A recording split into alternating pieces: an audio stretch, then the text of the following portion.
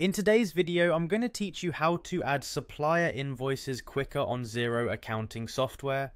This step-by-step -step approach will help streamline your process, making your accounting tasks much more efficient. So, let's get started. First, head over to the Xero accounting software platform.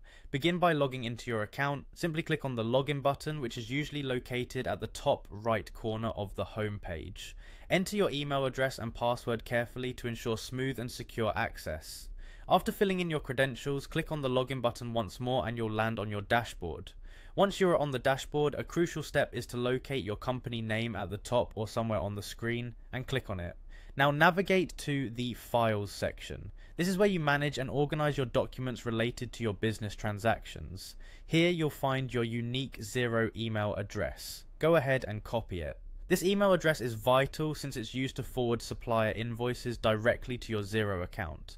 Now switch over to your email client, let's say you're using Gmail. Open up your inbox and then click on the compose button to start a new email.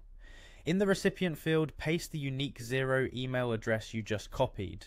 This simple step effectively connects your Gmail to your Xero account, allowing invoices to be automatically fetched to your accounting software. Next, within the body of your email, you'll want to add any attachments that are required. These are your supplier invoices. Click on Attach Files and choose the invoice file from your device. Make sure it's uploaded before proceeding. Once it's attached successfully, you can now hit the Send button. After sending the email, jump back to your Xero account.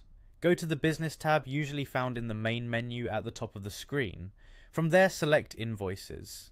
Typically, Xero will automatically create a draft invoice for you based on the email you sent.